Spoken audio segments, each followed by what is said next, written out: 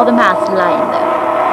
I went over to go get the mask because I did not have one. So I thought I could scare the kids.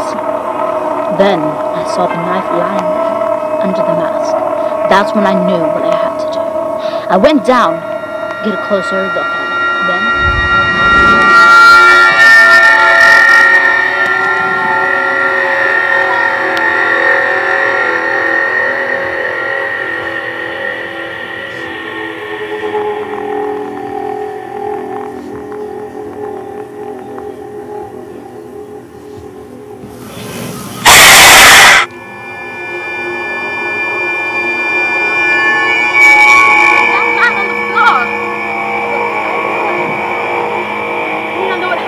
There's a dead man on the floor and you're the one who was here.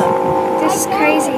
It's impossible. That's a break. Why don't you tell it the judge when you